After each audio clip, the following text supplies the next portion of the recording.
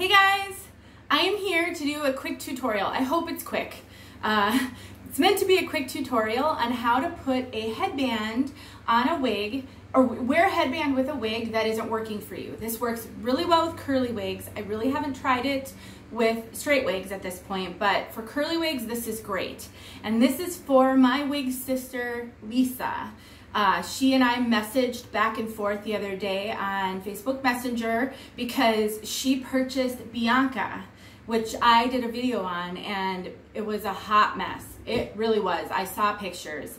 Um, I, I don't know if it's what's up with the, with her Bianca, but it looks pretty bad. And so I want her to try to get a save because I'd hate for that to be a waste because I don't know that she can't return it at this point. So I told her I would do a quick tutorial because it can be a little tricky. And I want to show you me doing it so you can see how much trouble even I have. And I think that's helpful because you'll see me with wigs with headbands on and you'll think it took me two seconds to just whip it up, put the headband on, but it can take some manipulation. And to make this even harder and more realistic, because this is what you're going to experience potentially, I'm doing it with a wig I've never done it with before.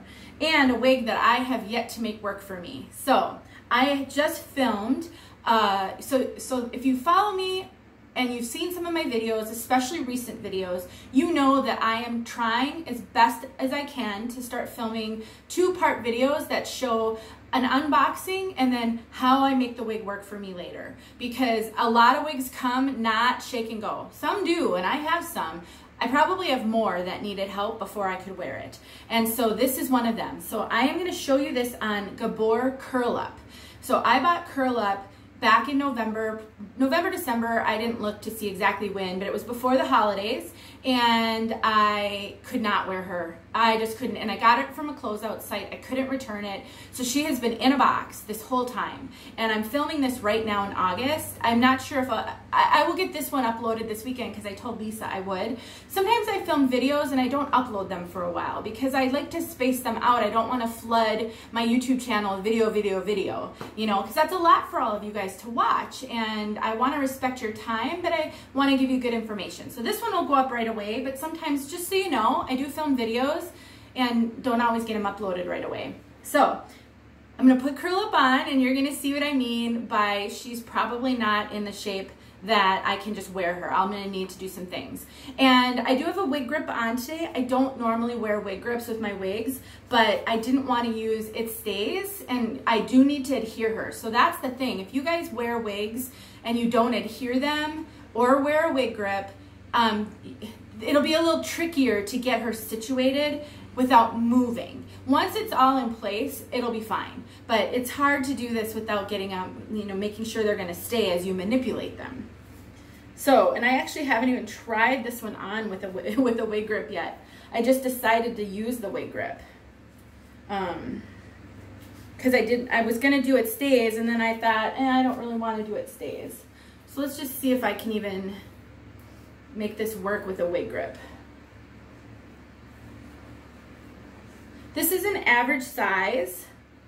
I'm also not really used to wig grips with wigs. So you're getting all kinds of first time things here in this video.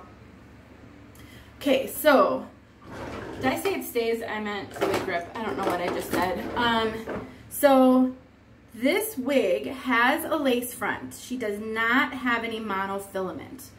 I haven't really done this much with lace front wigs either. I usually do it with my Bianca because that's got a basic cap. I've got some hair in here. I don't know that I'm doing a great job.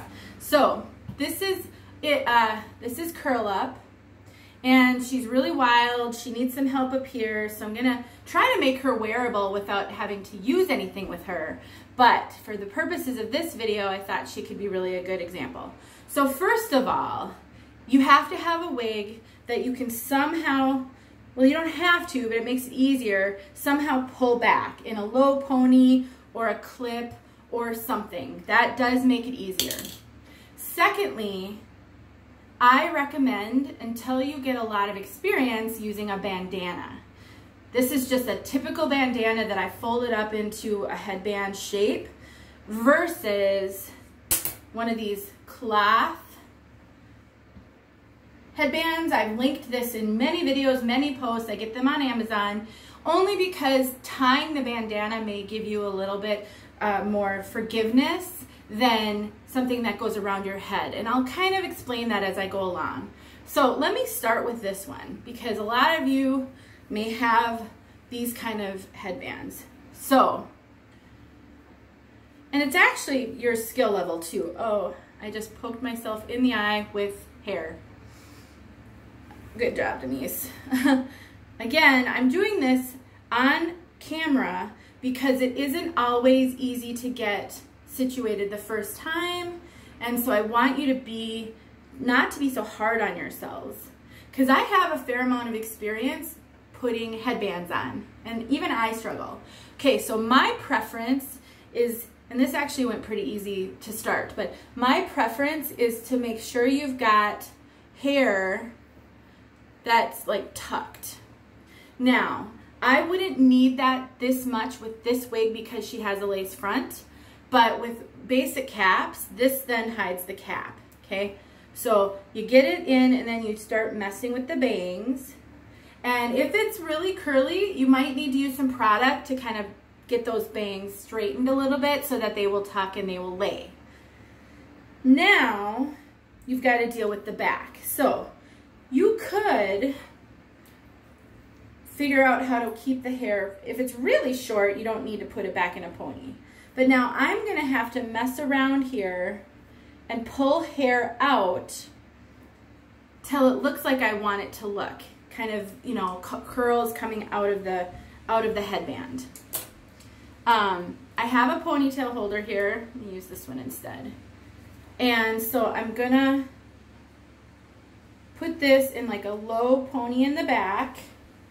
So I'm just putting it in a low pony in the back. And then I'm going to mess around back there. But first I'm gonna get it in a pony. And I'm kind of trying to look behind my phone into my bathroom mirror so I can see better. I may need to take water to her to liven up these curls.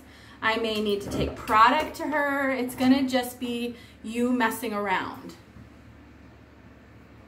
And I know my camera is gonna struggle to stay focused on this when I'm turned around and I just, that's the way it is. So then you want to look down here and make sure that you're not showing any of your bio hair if it doesn't match. That's where maybe having a rooted version if you've got darker hair could be helpful. Um, you know, pulling this down. So the one thing about using the cloth headband as opposed to the bandana, which can be easier at first, is um, it will hide all of this. So depending on how you're going to wear your hair, how long the wig is, all of those things will dictate which of those bandanas or cloth headband are gonna work better for you. Sometimes I will try to pull out a little bit of the wig hair down here if I don't think it's blending very well and you're seeing some of my own hair just so it sticks out some. Sometimes I don't. Um, but that's really, and then I just make sure it's pulled down. I'll go like this and I'll make sure that the wig is down low in the back. I have not, when I have the, this adhered, I have not experienced the bandana pulling the wig up in the back. If you have a very flat back of the head, I, you know, I'm not sure how that'll work for you guys. I don't, I, I think I just got an average. I don't really know. Wigs do right up in the back on me, but not terrible. So that's generally how I do it with the cloth headband. With a bandana, it's similar. It can be easier to put the hair in a ponytail first if you're going to use a bandana. So let's get back to baseline. And let me so all I'm doing is I'm reaching back. I'm maybe trying to see if I can tug a little baby hairs out on the bottom. And I'm just getting the hair in a pony. In the back. And then, I'm gonna take the bandana.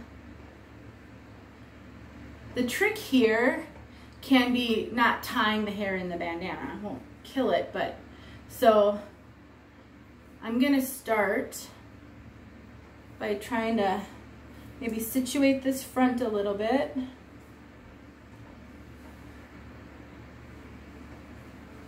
And then I'm just gonna tie it underneath.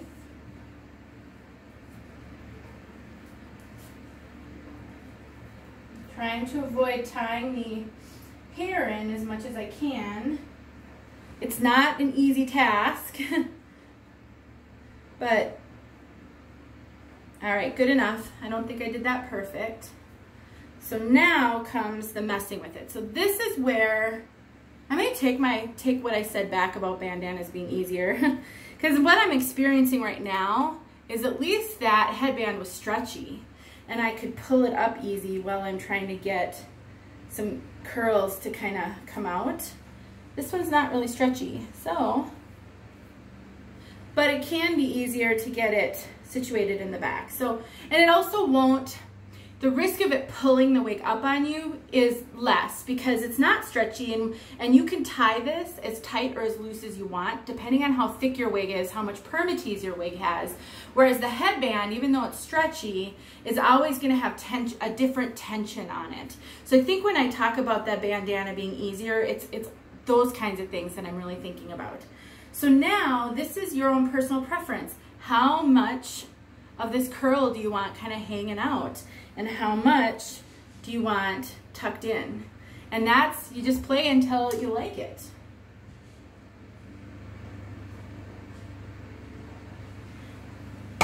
And I did have, I do have a little bit of hair poking out down here from the wig and that's fine. I, you know, you can, again, mess with that the way you want to mess with it.